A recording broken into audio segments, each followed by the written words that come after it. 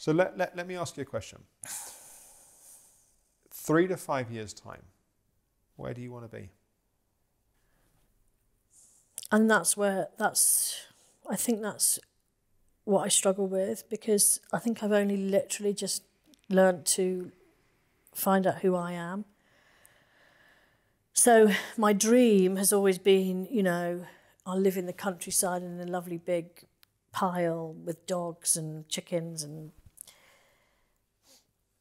but i think that's an, an unrealistic dream and i'm not sure i do want that I think that's what I've always because I've always sort of craved this peace and but I know the external Well, is, you- isn't going to bring me that but what you're saying is you, you, you want a level of peace. You don't need Yeah. to live in a, in a big country pile to have peace. It might actually be really fucking noisy. Yeah. the windows rattling in the wind because a listed Exactly. house or whatever. But, but what you're saying is you want a level of peace and, and space. I want which, which- peace, Which I want to be- which, which you don't experience when you've got turmoil in relationship and kids, teenage kids making a lot of noise at home. Yeah. So one thing you want is, is peace. is what- peace what and I want to be I want to be in a relationship where I'm loved and respected for Mm. who I am Yeah. and I'm not.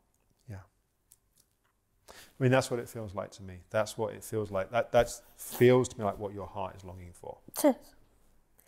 But I've got so there's there's so many other aspects to that because I don't I don't think anybody would look at me or touch me, you know, go near me with a barge pole because of my own self image issues. You know, I, I've put on, you know, I'm three stone heavier than I was when I got married. I'm, you know, I'm not exactly a looker. You know, I just uh, But do you, do you think how someone looks physically is the most important thing in them being loved and adored?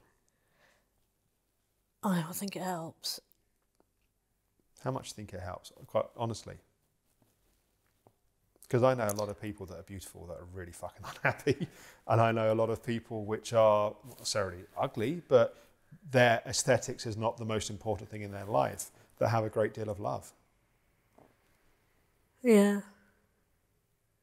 And that's where, you know, I have a problem, I suppose, because I've always had this ideal perfectionist, you know, and kind of outlook and and I'm and I probably put too much Because I think you're, you know, we, we spoke a few sessions ago about this idealized self, like this person that you believe you need to be to be loved and to be Yeah. successful.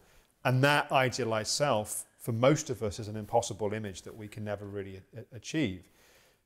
The truth is, what you want is you want to feel loved and you want to feel respected and you want to feel valued and you want to feel adored by someone. yeah. And if you are loved and adored because you've got your perfect figure and because you've got your perfect job, It's not- you're not actually loved and adored. It's not because of that. It's not I don't think that I would be loved and adored because I've got those things.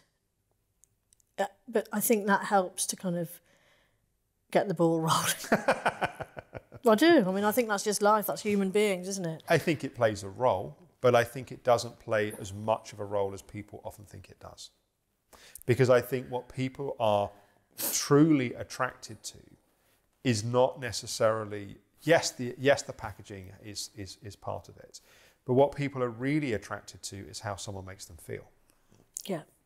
And the way to make someone feel good is to feel good. Yeah. The better your relationship is with yourself, the more loving you are of yourself, the more easy you are with yourself, the more you find joy in the simple things in your life, the more people will want to be around you.